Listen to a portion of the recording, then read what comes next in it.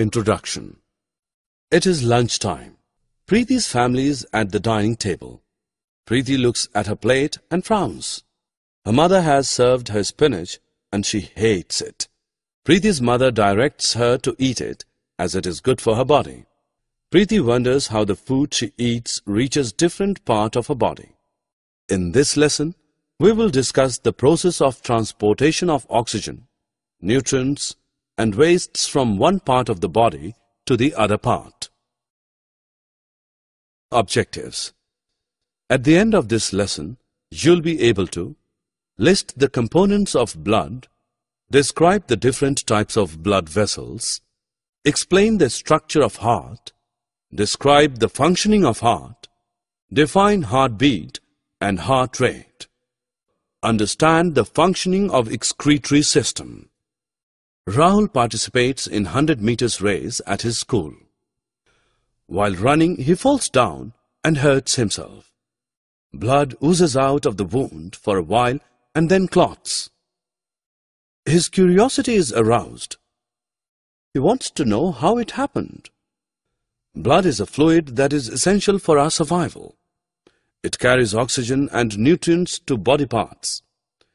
It also carries waste away from body parts removal. Blood consists of blood cells floating in a fluid called plasma. Plasma is yellow in color. 90% of it is water. Besides water, plasma contains hormones, proteins, glucose, and carbon dioxide. There are three types of blood cells. Red blood cells, RBCs, white blood cells, WBCs, and platelets. RBCs are also known as erythrocytes. They are disc-shaped.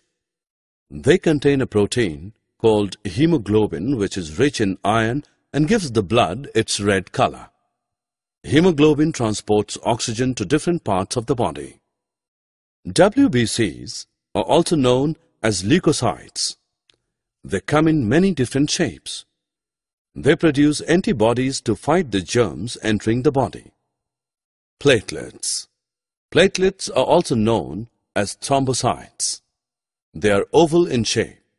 They facilitate the clotting of blood.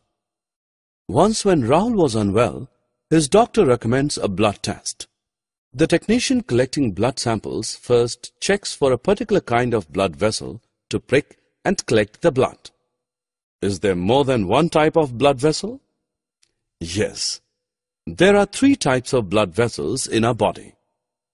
Arteries, veins, and capillaries. Arteries are blood vessels with thick walls. They carry oxygenated blood from the heart to all the other parts of the body. Arteries are of two types. Systemic arteries. They carry oxygenated blood from the heart to the other parts of the body.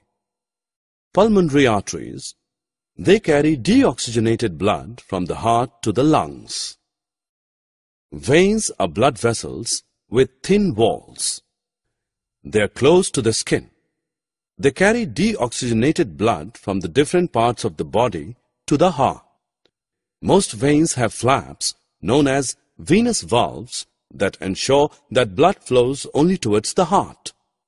These valves prevent the blood from flowing back. The pressure of blood in the veins is lower than it is in the arteries. Veins are of two types. Systemic veins. They carry deoxygenated blood from the different body parts to the heart. Pulmonary veins. They carry oxygenated blood from the lungs to the heart. Arteries branch into smaller blood vessels called arterioles, which further branch into capillaries. Capillaries are extremely thin blood vessels that are embedded in the tissues. They carry the oxygenated blood from the arteries to the tissues. The oxygen in the RBCs and the waste from the tissues are exchanged through the capillary walls. The capillaries carrying the deoxygenated blood join to form venules, which in turn join to form veins. The veins then carry the deoxygenated blood back to the heart. Heart is a muscular organ located slightly to the left of the middle in the chest cavity. It is the size of a human fist. It is responsible for pumping blood to different parts of the body.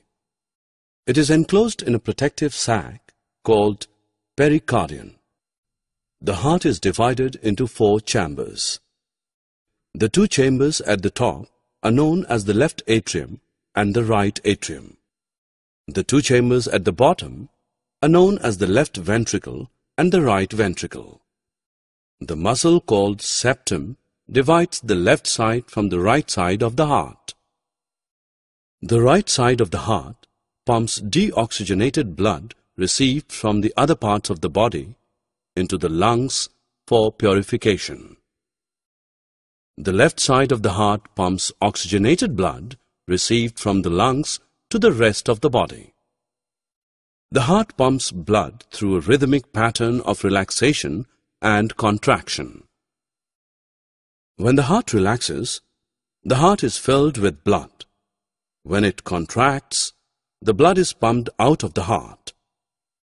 One rhythmic relaxation and contraction of the heart is known as a heartbeat. The number of heartbeat per minute is known as the heart rate.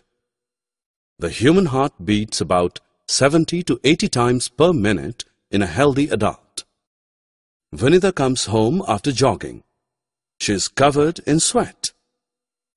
Her mother asks her to take a bath. Why? Sweat is a waste that must be removed from the body. You just learned that blood collects waste from different parts of the body. These wastes are carbon dioxide, water, salt, urea and uric acid. They are the result of the metabolic activities of the body. Since they are toxic, they must be removed from the body. The process of removal of wastes resulting from metabolism is called excretion. Excretion takes place through the lungs, skin, liver and kidneys. The lungs remove carbon dioxide from the body during exhalation. The skin removes excess water, salt, urea and uric acid from the body in the form of sweat. The liver removes the chemicals from the blood. It secretes a juice called bile which carries waste from the liver into the intestine. Kidneys are bean-shaped and two in number. They filter blood coming from different parts of the body. During this process, useful substances are absorbed back into the blood and the waste is removed as urine. The urine goes into the urinary bladder through tube-like ureters. It is stored in the urinary bladder and is passed out through the urinary opening at the end of a muscular tube called urethra. Summary Let us summarize what we have learned. Blood consists of blood cells floating in a fluid called plasma. There are three types of blood cells. Red blood cells, RBCs, white blood cells, WBCs, and platelets. There are three types of blood vessels in our body. Arteries, veins, and capillaries. Arteries carry oxygenated blood from the heart to all the other parts of the body. Veins carry deoxygenated blood from different parts of the body to the heart. Heart is a muscular organ that is responsible for pumping blood to different parts of the body. One rhythmic relaxation and contraction of the heart is known as a heartbeat. When the heart relaxes, the heart is filled with blood. When it contracts, the blood is pumped out of the heart. Excretion takes place through the lungs, skin, liver, and the kidneys. Kidneys filter the blood and remove the waste as urine.